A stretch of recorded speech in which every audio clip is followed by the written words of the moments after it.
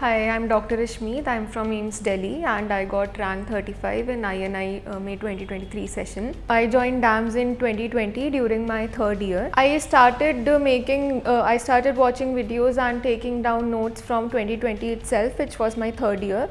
In fourth year, uh, fourth year I focused mainly on my props and then in internship again I started revising those notes that I had made during the lockdown and I focused more on GTs and TNDs to have a good practice of MCQs and I also focused uh, more on image based questions because uh, a lot of it comes in INI there is a major proportion of image based questions.